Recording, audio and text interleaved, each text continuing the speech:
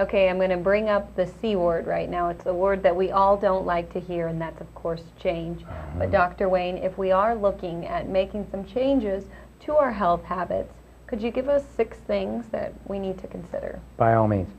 Number one, you've got to figure this out. What kind of health are you in now? Because we're going to learn eventually that there's an evolution of disease, okay? There's evolution, there's a process. You've got, um, there's six stages there. So we've got to figure out what stage of health are we in now to take our level of, of approach. There's a difference between diagnosis and prognosis. I know you probably heard both words. Diagnosis are what are the, what is the disease? What is the, let's say, uh, what what what what what is it, like the uh, what is the disease? And then uh, prognosis is what are your chances? What is the option? So what kind of health are you in now? And number two, do you have strong enough genetics? Do you have a, a good foundation in your whole physiology to, to deal with this? What kind of help are you going to need, okay? Number three, do you want it bad enough? How bad do you want it? And remember, people only want what they want when the want is more than the effort. Well, we'll make changes when we want it bad enough. Man, I wanted my health bad enough. I was wounded in Vietnam on my third term over there in South Vietnam in Na Bay. And when I was so sick at my stomach so much, and when I came back, I had rheumatic fever three times, by the way. I was supposed to die before I was 30. I'm 65 now. Never felt better in my life. And I know now, because I've consulted with all of the greats all over the world who were in excess of 100. And I said, what did you do? What are you doing? Honey, I keep a good attitude. You know what I mean? Or I laugh on, and one lady used to tell me she was my spiritual guide in my life. She was 98 when she passed. Bless her, sweet soul. I loved her to death. And we have got a whole story in attitude. I'll tell you about. She says, honey, I laugh until I leak. okay, whatever works for you, right? I said, so people, people always want what they want when the want is more than the effort. Now, will you discipline yourself along the way? Will you do it? I mean, uh, I'm going to, when you tune into the 12th component of this whole series that you and I are going to do, when you tune into the 12th component, you're going to know, okay, here's what I'm going to do in the morning, here's what I'm going to do for the next thing, next thing, next thing. Will you discipline yourself along the way? And here's another thing to ask yourself. What is the iatrogenic portion of the disease? What, then what does that mean? That's the physician's induced disease. Because we know right now, I'm going to give you some websites. I want to uh, read you a couple websites here that I'm going to share with you, okay? Mm-hmm. Uh, I'll give you these in a second, but I never will forget now. Physicians induce disease. That's iatrogenic. There is so much. Now, I'm not cutting the medical community down by any stretch of the imagination. They're doing some awesome things. Mm-hmm. Artificial insemination, brain tumors, uh, uh, uh, terrible accidents. I don't care how much carrot juice I would have drank. When I had the accident up there in Chicago doing the uh, Chicago Triathlon, when I was training on the bike, I had 10, uh, six stitches here, 15, eight stitches here in the side of my head, 15 the side of my, uh, my head, on my face, and then a head, neck in a brace for three weeks. Hey, Dr. Wayne, yes. Oh, to do this, I'm so blessed.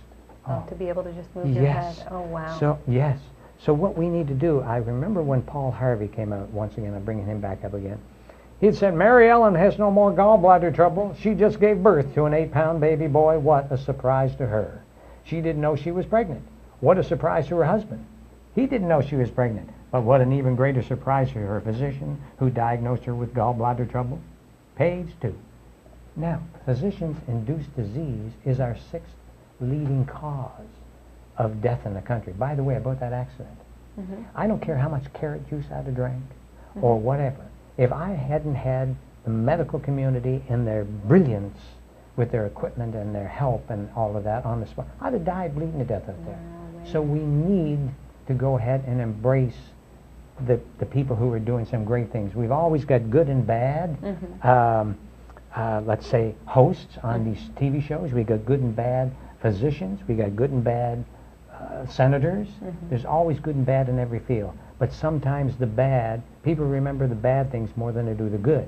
Mm-hmm. Don't you agree? I absolutely Because agree. it's easier to talk about the problem than mm-hmm. to embrace the solution. Mm-hmm. So what are the indicia? Now, here's what I'd like for you to do today. Go to google.com. I'm going to read you a couple sites here, okay? Now, what we need to do is to write down when you're in Google 20 tips to help prevent medical errors and get that report by the government.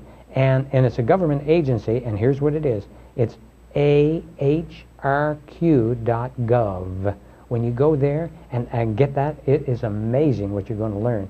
The medical uh, errors are the sixth leading cause of our death in our country. And look, th- they have so many patients that they're dealing with every day, Jenna. Every day that sometimes, you know, you make a mistake and maybe the records got mixed up or, or even the physician, the, the, uh, uh, he, he prescribed something that was correct, but yet the adverse effects from it that he was unbeknownst to caused the death.